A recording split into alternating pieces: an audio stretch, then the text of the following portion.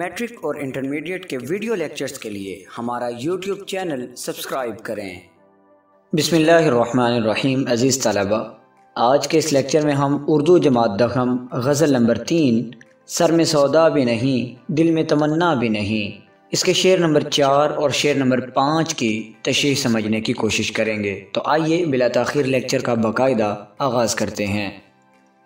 शेर नंबर चार मुलाहजा कीजिए। आज गफलत भी है उन आँखों में पहले से सवा। आज ही खातिर बीमार, शकीबा भी नहीं। मुश्किल अल्फाज के मानी देखिए, गफलत बेअतनाई या बेरुखी, सवा, ज़्यादा या बढ़कर, खातिर बीमार बीमार दिल और शकीबा का मानी है सब्र या करार। इस शेर का मफहम कुछ इस तरह होगा कि आज मेरे बेकरार दिल को सब्र भी नहीं आ रहा और मेरे महबूब की बेरुखी भी पहले से ठीक है। अज़ीज़ तलबा, आइए अब इस शेर की तशरी समझते हैं। उर्दू शायरी में महब यानी मोहब्बत करने वाले या एक आशिक को हमेशा एक मुखलिस और जानिसार समझा जाता है, जबकि महबूब को उसके नाजो अदा और नखरों की वजह से ालिम शुमार किया जाता है, जिस पर अपने महब यानी आशिक के खलूस और मोहब्बत का कोई असर नहीं होता और इसी वजह से एक मुहिब, एक आशिक, एक मोहब्बत करने वाला अपने अखलास और अपनी मोहब्बत और अपने इश्क के बावजूद हमेशा परेशान और उदास रहता है। चनाचे इस शेर में फ़िराक गोरखपुरी ने भी कुछ ऐसी ही कैफियत बयान की है। फ़िराक कहते हैं कि मेरा महबूब हमेशा मुझे नज़रअंदाज करता आया है। मेरा दिल मेरे महबूब के जुल्म का आदि हो चुका था, मगर आज तो मेरे महबूब की इन आँखों में मेरे लिए बेरुखी पहले से भी बढ़कर दिखाई दे रही है। इस पर मुसीबत ये कि आज मेरा दिल कुछ ज़्यादा ही परेशान भी है। मेरे दिल से आज सब्र नहीं हो रहा। होना तो ये चाहिए था कि आज भी मेरा दिल इस पर सब्र करता, मगर आज सब्र के सब बंधन टूटते दिखाई दे रहे हैं और ऐसा महसूस हो रहा है कि अब मेरा ये सब्र मेरी आँखों के रास्ते बह निकलेगा। इसी हकीकत को एक शायर ने यूँ बयान किया कि जब्त के टूट गए, आज तो बंधन सारे, आज तड़पा है वो दिल जो कभी धड़का ना था। आइए शेर नंबर पाँच की तशरी समझते हैं। रंग वो फ़सल ख़ज़ा में है कि जिससे बढ़कर शान रंगीन या हुसन चमनारा भी नहीं। मुश्किल अल्फाज के मानी देखिए।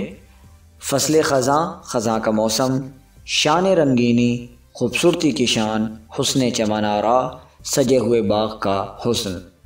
इस शेर का मफहम कुछ इस तरह होगा कि ख़ज़ा के मौसम में भी वो रंग दिखाई दे रहा है कि ऐसा रंग किसी फूलों से सजे हुए बाग की खूबसूरती में भी नहीं पाया जा रहा।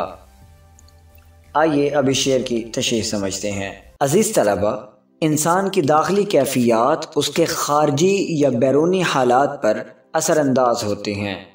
अगर इंसान अंदरूनी तौर पर उदास है तो उसके इर्द गिर्द खा कितना ही खुशकुन माहौल क्यों ना हो, खुशी का माहौल क्यों ना हो, वो खुश नहीं होता। और इसी तरह अगर इंसान अंदरूनी तौर पर खुश हो तो उसके इर्द गिर्द शोक का माहौल भी उसको उदास नहीं करता, मुतासर नहीं करता। और इसी हकीकत को नासिर काजमी ने यूँ बयान किया कि दिल तो मेरा उदास है नासिर, शहर क्यों साए साए करता है? उदास तो मैं हूँ तो फिर ये शहर इतना वीरान क्यों है?